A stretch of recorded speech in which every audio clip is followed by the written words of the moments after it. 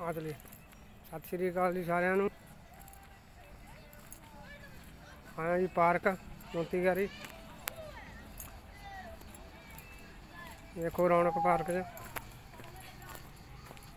ਗਰਮੀ ਬਹੁਤ ਆ। ਤੇ ਅੱਜ ਰੌਣਕ ਵੀ ਆ ਪਾਰਕ ਦੇ ਵਿੱਚ।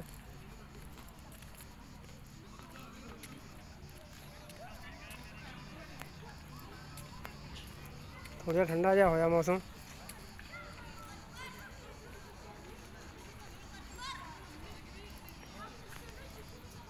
ਤੇ ਮੈਂ ਕਿਹਾ ਚੱਲ ਵੀਡੀਓ ਬਣਾ ਲਈਏ। ਤੇ ਮੌਸਮ ਦੇਖੋ ਜੀ।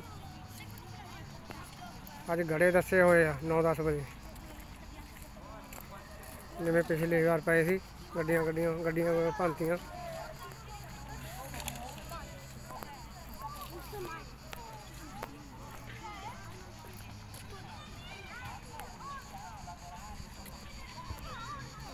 ਦੇਖੋ ਰੌਣਕ ਮੇਲਾ ਜੀ, ਹਰ ਦਾ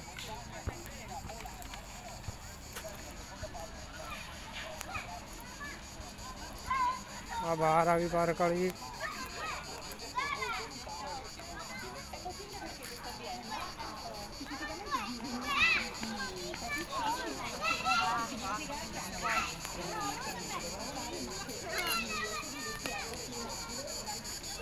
ਵਧੀਆ ਰੌਣਕ ਮੇਲਾ ਪਾਰਕ ਦੇ ਵਿੱਚ ਮੈਂ ਵੀ ਆਪਣੀ ਗੱਡੀ ਅੰਦਰ ਲਾ ਕੇ ਆਇਆ ਅੱਜ ਪਿਛਲੀ ਵਾਰ ਬਚ ਗਈ ਗੜਿਆਂ ਤੋਂ ਬਚਾਅ ਹੋ ਗਿਆ ਪਿਛਲੀ ਵਾਰ ਵੀ। ਬਾਕੀ ਹੋਰ ਗੱਡੀਆਂ ਦਾ ਕਾਫੀ ਨੁਕਸਾਨ ਹੋਇਆ। ਦੇਖੋ ਜੀ, ਸਾਰੇ ਪਾਸੇ ਰੌਣਕ ਮੇਲਾ। ਹੁਮ ਜਿਹਾ ਹੋ ਗਿਆ। 9-10 ਵਜੇ ਦੱਸਿਆ ਹੋਇਆ ਦੱਸਿਆ ਹੋਇਆ ਮੌਸਮ ਖਰਾਬ ਹੋਣਾ ਜੀ। ਵੀਡੀਓ ਚੰਗੀ ਲੱਗੀ ਤਾਂ ਸ਼ੇਅਰ ਕਰ ਦਿਓ ਲਾਈਕ ਸ਼ੇਅਰ ਕਰ ਦਿਓ।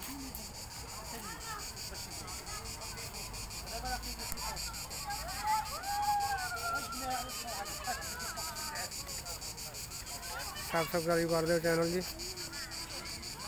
ਧੰਨਵਾਦ ਜੀ।